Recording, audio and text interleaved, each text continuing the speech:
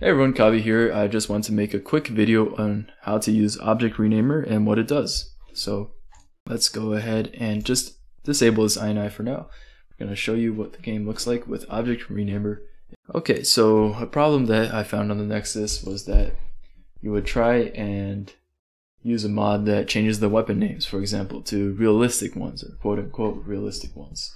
And the problem with these mods is that they often use an ESP file to do that. So the problem with using an ESP file is that it causes conflicts with other mods that try to change the weapons in New Vegas. So to avoid these conflicts, what item or sorry object renamer does is it uses a script instead to rename these objects. But you can see that it's done nothing. We have the 9mm pistol, we have the Blue Betty, we have the laser pistol. These are all the default names. So hasn't changed the names for any of these weapons. And if we go ahead and look in the console, we see that it's running object renamer.esp, it's running the script in here, but it's doing nothing. So what do we need to do something? Exit out. We need an INI file. So if you go ahead and look inside object renamer, you can see that it has the ESP, it has the config, but has this folder in config. This is important called object-renamer, but it has nothing in that folder. So you're supposed to put INI files in this folder for the object renamer plugin for the script to change the names of things. So for example, I have this item called real weapon names INI. So if we go and look in there, config object renamer, oh, real weapon names.ini. So you can see the folder structure here is correct. Go ahead and open that Explorer. Edit with Notepad++, and see that this is what the INI file looks like. So here we can see the section name for this section called Real Weapon Names.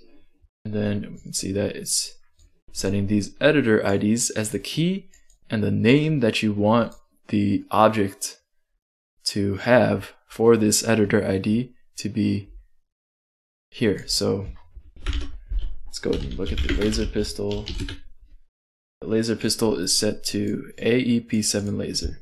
So if we go ahead and enable this INI file, remember the file structure should look like this. Okay, config object renamer, and then whatever INI file you want. It should um, change the name of the laser pistol. Now, the thing about this mod is that you don't have to have your INI file just called real weapon names. In fact, there can be multiple INI files. So let's go ahead and make a new INI file. And this is just to demonstrate what it might be like to create our own INI file for this mod. So Sunny INI, we're going to edit here. Yes, okay, so we're just going to have a section called Sunny, and then we're going to take the editor ID, which I already know offhand is GS Sunny Smiles and set it to Alberto Balsam. So when we go into the game, we should see that Sunny Smile's name is Alberto Balsam. You can see that I have multiple INI files here. You can have as many INI files as you want. So it's a little bit more modular. You don't have to just modify one big ass INI file.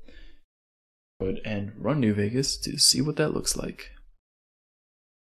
Okay, so we open up the console. Here we can see that Oh, okay, so object renamer is running and now it's loading this sections from the INI files that we gave it. So loading real weapon names from real weapon names to INI. It's loading uh, this section as well. And you can see that since I don't have this mod installed, it's not able to find an object. It just tells you that it's not able to rename this object. And then it's also found this file, sunny.ini, and it should be able to load that section, okay.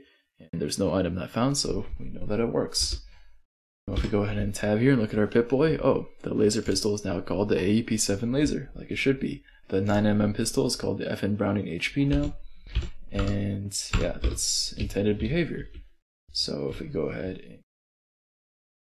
talk to Sunny, there is no Sunny, it's Alberto talk to her, yep, we see that her name is Alberto now.